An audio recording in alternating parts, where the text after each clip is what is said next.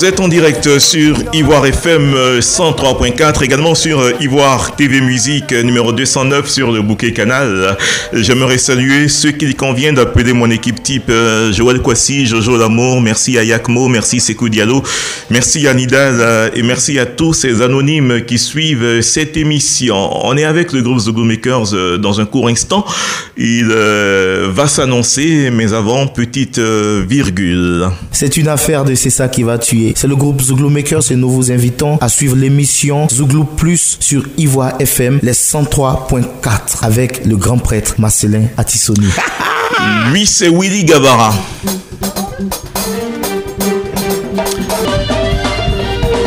Alors Willy, euh, bonsoir. Bonsoir Marcelin. Voilà, euh, je préfère comme ça, ça va Oui, ça va, ça Et ce rythme-là, tu rappelles euh, beaucoup de choses.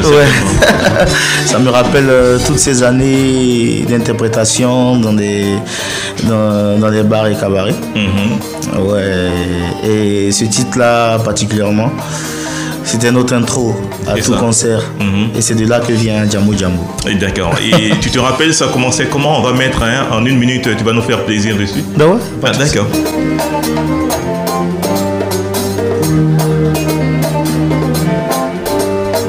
Souma. Ah. Yeah.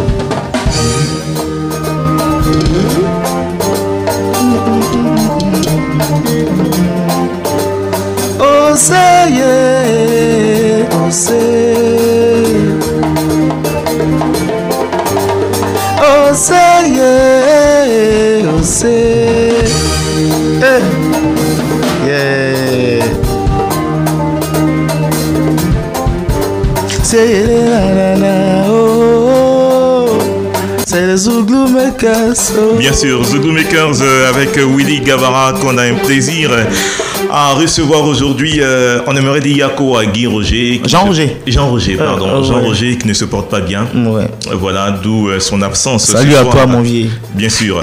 Alors, Zougou Makers, on va faire un peu d'histoire, c'est toujours important. Et ça a commencé en 2008, c'est ça? 2007, 2008. Comme tu l'as dit, un groupe créé d'abord par Jean Roger. Par Jean Roger. Important. Mhm. Et euh, vous avez été maître de l'interprétation pendant euh, au moins six années en Côte d'Ivoire. Bah ouais. Mhm. Si vous le dites. C'est ce qui est en vérité. Et vous avez exporté même votre talent en tant qu'orchestre. Ça aussi, c'est important de le dire. Hein. Mhm. Vous avez participé euh, au mondial en Afrique du Sud. En Afrique du Sud. Mhm et à, plusieurs grands événements. Comme mhm. tu le dis, là, le groupe il existe depuis 2007 mhm. et on a fait pratiquement euh, euh, plusieurs, plusieurs bars et cabarets mhm. ici à Abidjan. Et donc, euh, c'est de, je pense que c'est de, c'est de toute cette expérience-là qu'est sorti l'album Djamo Djamo et c'est en 2014. Et toi particulièrement, tu as pris le train en marche parce qu'avant c'était la paire Jean-Roger, Seba, la force tranquille. D'abord, il y avait Jean-Roger Posso. D'accord. Après, il y a eu Jean-Roger et Seba. Mhm. Moi, je suis venu euh, en 2012, si je me rappelle bien, 2012, mhm. fin d'année 2012. Mhm. Et donc, euh, voilà. Alors, tu arrives. Euh, d'abord, tu ne faisais pas de zouglou, hein, tu étais dans un orchestre reggae. reggae, c'est ça? Bah, écoutez, j'ai fait, j'ai fait du reggae. Après le reggae, j'ai fait du coupé décalé. Et c'est après ça que je suis venu au zouglou. Et parlant de couper décalé, euh, tu as été de la de l'école de d'Arafat. Hein? D'Arafat, oui, j'ai été son choriste. Mhm. Et c'est quelqu'un euh, auprès de qui j'ai beaucoup appris aussi. D'accord. Voilà. Et tu as réussi à faire le deuil après le malheur qui nous a tous frappés? Bah, écoutez, je ne dirais pas que j'ai réussi à faire, mais bon on est obligé de faire avec. Mhm. On est obligé de faire avec, on est obligé de l'accepter. Mhm. Et ça a été, euh, du moins, c'est une grosse pète pour la musique ivoirienne. Mhm. On est obligé d'accepter, on est obligé de continuer son combat. D'accord. Et toi, tu arrives dans un orchestre qui cartonne en 2012, comme tu l'as dit. Comment est-ce que tu fais pour t'insérer aussi facilement? Mais il faut dire que déjà les collègues avec qui je suis ne sont pas, ne sont pas compliqués à vivre. Et je le dis à, à tout le monde, je veux toujours apprendre. Je suis venu dans ce groupe pour apprendre et tout. Mhm. Et donc, euh, voilà, je me suis mis à ma place d'élève. D'accord. Et ça donne ce que ça donne. D'accord. Jean-Roger, c'est un bon maître Très très bon maître. Mhm. Très très bon maître. Avec Jean-Roger, on apprend beaucoup. Mhm. Moi, j'ai l'habitude de l'appeler El Biblio, la bibliothèque ambulante. D'accord. Euh, concrètement, qu'est-ce qu'il t'a appris, Jean-Roger Adam? Bah, euh, Il faut dire que, tu sais, on peut être, force, on peut, on peut être euh, bon chanteur sans être bon choriste, on peut être bon choriste sans être bon chanteur. Mhm. Et Jean-Roger, c'est quelqu'un qui, qui, a, qui a fait tout ça, qui a fait les chœurs de plusieurs artistes en studio, dans, dans les concerts et tout. Et donc, il m'a appris un peu de tout ça. Voilà, comment, comment maîtriser sa voix, comment faire, faire les doublures, comment euh, euh, chanter devant, devant plusieurs personnes, comment maîtriser une chanson, un peu de tout ça. Je pense qu'il y a plusieurs paramètres au fait dans la musique que je ne connaissais pas, que j'ai eu à connaître mhm. grâce à lui. Et d'accord, comment, chanter, euh, comment chanter devant plusieurs personnes? Il t'a particulièrement bien appris ça, hein? parce qu'aujourd'hui ça te vaut le nom de Willy Pimpien. Ça, ça, veut dire quoi Willy Pimpien? Je ne sais pas, les gens m'ont donné ce nom comme ça parce qu'il trouvait que j'étais un peu, un peu trop chaud, chaud, chaud, chaud, chaud sur scène, euh, trop mhm. euphorique sur scène.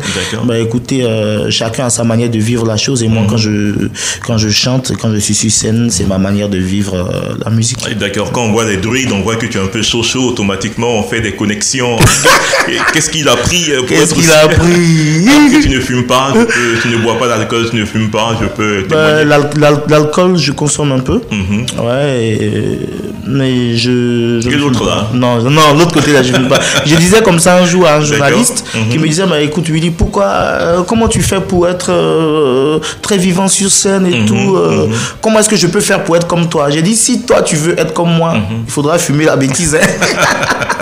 Alors que toi, c'est naturel. Ouais, ouais, ouais, ça va. D'accord, c'est le public qui t'excite, hein, on va dire ça. Ah, ouais.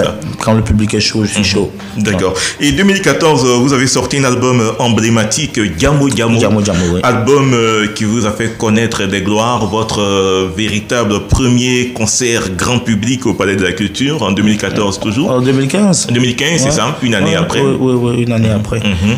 C'était, euh, c'était, je crois, le 15, 15 décembre. Décembre, bien sûr, bien sûr, 20 décembre. 20 décembre, 20 décembre 2015. Mhm. Grand concert, comme tu le dis. Mhm. Et encore une une première expérience pour moi, chanter devant 4000 personnes. 4000 personnes. Peut-être plus, hein Peut-être oui, plus, je dirais mhm. plus. C'était vraiment chaud. Mhm. Je dirais que pour moi, c'est l'un des plus grands concerts euh, pour l'instant. Mhm. Et là encore, je, je, m'en suis remis à, Jean Roger et au reste du groupe parce qu'ils ont, ils ont plus d'expérience euh, que moi. Et peux le témoigner, hein, tu, étais là. le concert s'est très bien passé. Mm-hmm. C'est vrai qu'avant le concert, moi j'avais la trouille, j'avais la trouille, j'ai même dégueulé et tout. Ah bon, tu as, vomi Ouais, ouais. Ah bon, dans le tu as vomi? Avant le concert, derrière la scène, derrière la scène. Ah bon hein? Ouais, j'ai dégueulé, je, je, pleurais et tout. Je tremblais sur moi comme ça. J'ai dit à Jean Rouget, bah écoute, on fait comment On fait comment Vieux Pédi Allons chanter là-bas.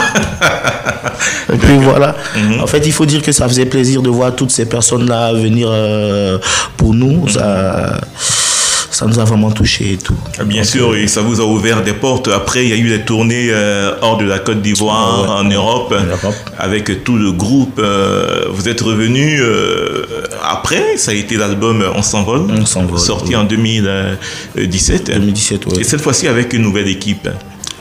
Bah, avec Aruna Traoré, c'est ça? Ah Avec Aruna Traoré. Mhm. Avec Aruna Traoré comme, comme producteur de mhm. l'album. D'accord. Et tout. Et je dirais que cet album, cet album s'est enregistré dans, dans on a enregistré cet album dans, dans, les mêmes, euh, je dirais dans les mêmes conditions, mhm, mhm. en live et tout, et ça donnait ce que ça donnait. D'accord.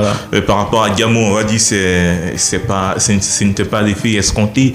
Euh, on va bah, toujours comparer cet album On s'envole à Gambo Gambo, on va dire, ce n'était pas euh, comparable peut-être bah finalement. Ouais, bah ouais, je, dis toujours que l'album qui te révèle n'est jamais, n'est jamais euh, pareil à, celui que tu fais mhm, après. Mhm. Voilà. Et comme je disais tout à l'heure, on a travaillé dans les mêmes conditions. Mhm. Ça a donné ce que ça a donné. Il faut dire que sur l'album On s'envole, on a, on a, on a, on a un peu, on s'est un peu ouvert vers l'extérieur, vers d'autres styles musicaux et tout, parce que nous sommes d'abord des musiciens. On sait, on sait faire de la musique. Faire de la musique, c'est pas faire que du zouglou, c'est pas faire que du reggae, que du coupé décalé. On sait faire que, on sait faire de la musique.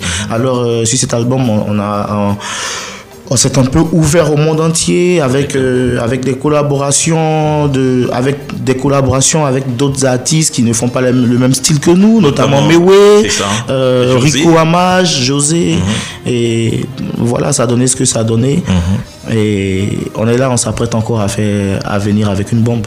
Une bombe hein, pour quand? Très bientôt. Très bientôt. déjà, les prémices ont été euh, établies avec euh, ce remix de, de, Sanoma. De, Sanoma. On va y arriver tout à l'heure. Mais je veux dire, euh, il y a eu cette polémique quand vous êtes passé de l'ancien staff au nouveau staff. On a vu derrière la main d'Aruna Traoré, on a vu Gaou Production. Est-ce que c'est vrai que c'est vraiment Gaou Production qui vous a pris dans son écurie? Non, nous ne sommes pas dans le de Gao Production. Mhm.